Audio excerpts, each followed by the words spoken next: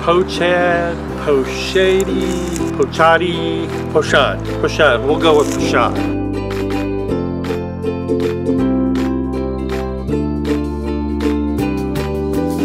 Hello minders, welcome back to the Mind of Watercolor. Today we're going to do a review on this. This is the Guerrilla Painter Pochade box. But more than that, we're going to talk about Pochade boxes and if they're usable for watercolor. Traditionally a Pochade box is an oil painter's plein air easel. Uh, they are used for watercolor and that's what we're going to talk about. And we're going to talk about how you can adapt these for watercolor because in a lot of cases these are designed to be used for oil painting or acrylic type painting mediums. Well first of all let's take a look at the box. Now most of the things that Guerrilla Painter sells are sold a la carte or as separate accessories so I'm going to try to point out to you which things uh, come with the initial box and which things you have to buy separately. They take the approach that you buy a basic, a very basic box and everything else is an add-on, like this case. This is a carrying case, shoulder strap, handles, front pocket, and a little back pocket. Now the idea behind the Pochade box is that it's sort of a self-contained studio. It's a carrier and an easel all in one. Here you can see uh, there's a pocket up here this has a, a drop-in feature which we'll talk about in a minute. And then here's the box. Guerrilla Painter makes several sizes of these, up to really large, down to this. This one's called the thumb box, mainly because it has a thumb hole. But they have a smaller box than this yet, a really small one called a pocket box. I'll put the link down in the video description so you can look at their site and see what all is available. They're also sold on Amazon. The Guerrilla Pochade box is very nicely made. It's, it's solid. It's made of uh, very durable but lightweight plywood. You open the box, loosen this. This right here tightens so that you can adjust the angle.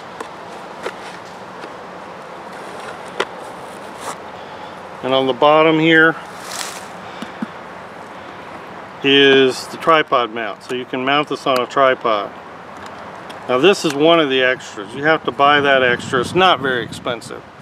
Um, if you ever want to put this on a tripod, I suggest that you buy one of these. It also has feet that will sit on a table or a thumb box so you can hold it and rest it on your arm and paint. Let's go ahead and put this on the tripod and look at it. Now this is a standard receptacle to use with a standard tripod mount. So this is from my tripod. I'm going to mount it here. And then that mounts to your tripod.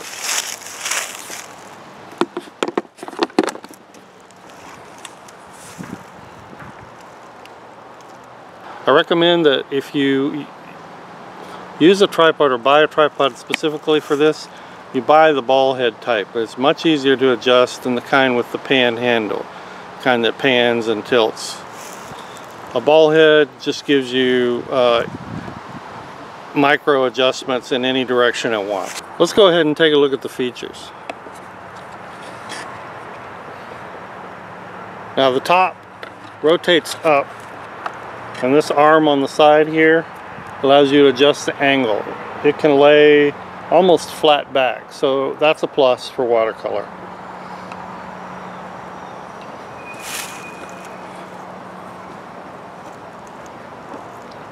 Tighten that down real good.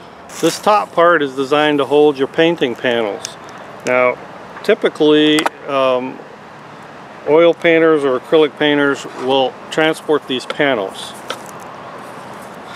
I'm just using this as sort of a, a spacer the equivalent for that in watercolor would be uh, like illustration board. In this case I've got Arches. Arches watercolor board. Makes a great painting panel, just as if you were painting with oil.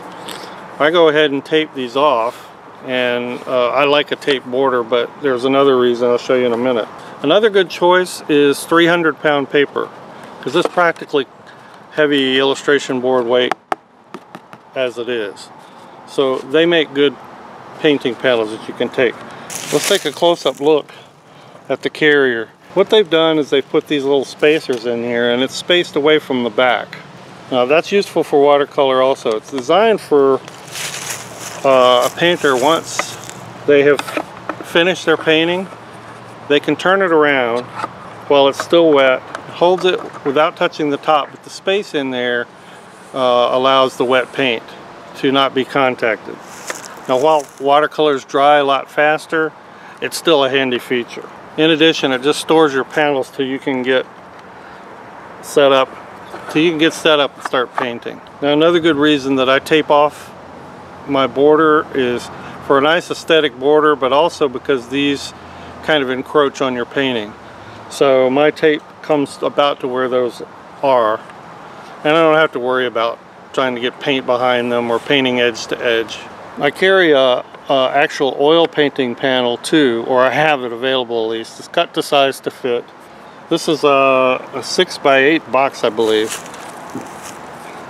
I'll put the specs down in there. I think it's a 6 by 8 or a 6 by 9 uh, but one of the things you can do with an oil panel is if you want to cut an odd piece of watercolor paper or a light piece like 140 pounds something that's flimsier and not hard card like this you can tape it to an oil panel. So that's a good thing to consider if you're looking to use a pochade box. Let's look at a couple of the other features. This fold out is an extra. You pay extra for this. Just gives you an extra work surface uh, a slot here for hanging things um, holes for putting your brushes. I purchased this because I'm going to probably put folded towel over here. I'll use I may use the brush holes I'm not sure. Then this slides out and you have a storage area beneath. You can put tubes of paint in there if you want, but uh, if you, it, it's better just to put your palette. Guerrilla Painter even sells a, a palette size to fit this box. I bought that extra. This does not come with the box. You can put any palette you want in here. You could put a small little uh, plein air watercolor box, like a little Sennelier box if you want, and you'd have extra room to store other things. Um, but if you want a bigger, fuller palette, um, Guerrilla Painter makes this one. I've already set mine up with landscape colors that are M. Graham and I'm all set to go. You can put brushes in here, you can put rags, uh, as I said, tubes of paint. I carry my brushes in a brush wallet, so I'm not really worried about it. Um, this palette fits nicely in here for storage and I have room for this rag. My setup I believe is going to be to put this slide back put my paper towel here and I'll clip it with a clip. I'm going to hang my water container here and hold a rag in my hand. There's one other accessory that you can get and that's this what they call a drop-in easel. That just allows you to use a bigger panel than you can store inside the box. And it just drops down in that storage area. So a bigger panel will sit in and there are wires that come down and bracket it and hold it from the top.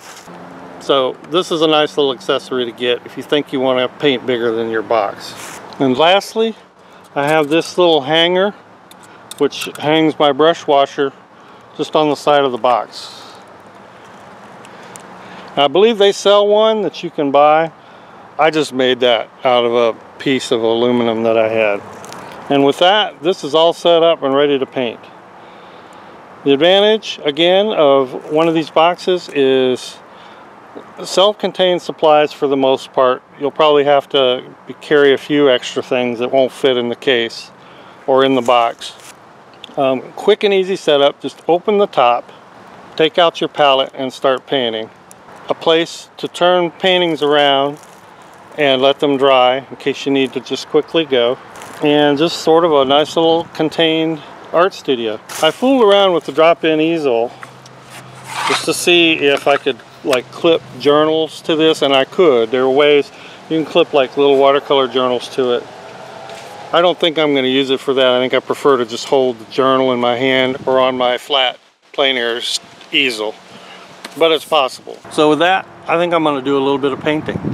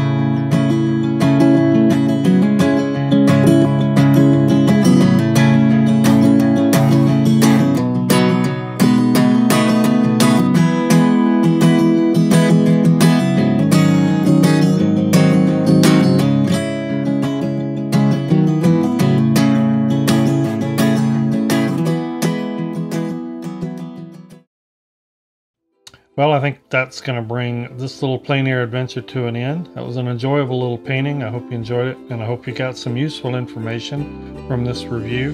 Thanks so much for watching, and I really appreciate patrons for sponsoring this episode and many of my others. I couldn't do it without you. We'll see everybody next time.